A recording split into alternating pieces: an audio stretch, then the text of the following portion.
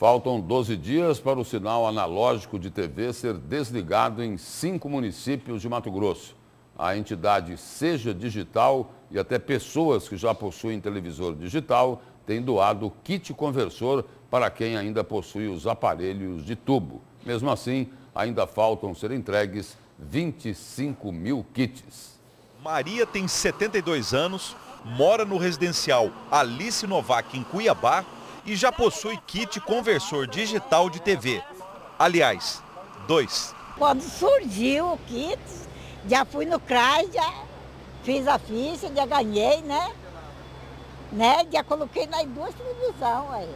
E agora a imagem está bonita lá? Ah, eu deito na minha cama, ligo a televisão, aí eu ligo o ventilador, vou né, descansar, beleza, né? Nós temos aí uma quantidade, já passamos a cerca de 115 mil kits entregues. Nós temos aí na base 140, então está faltando 25. Você que ainda não ligou no 47, não acessou o site segital.com.br, ligue, verifique se você tem direito para retirar o kit conversor. O televisor do ponto de táxi do terminal rodoviário do Cochipó era analógico, mas agora é digital, porque tem conversor.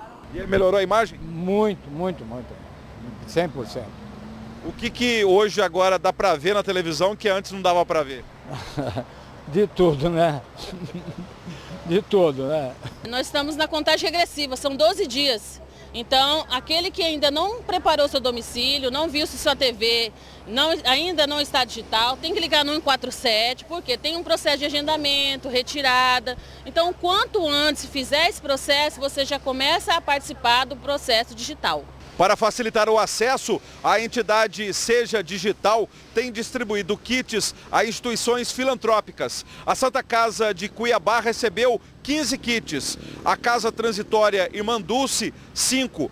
Este ponto de táxi no terminal rodoviário do Cochipó ganhou o kit de uma pessoa que hoje tem TV digital e não precisava mais da TV analógica. Isso pode ser feito por qualquer pessoa? Nós estamos reforçando que a pessoa ligue.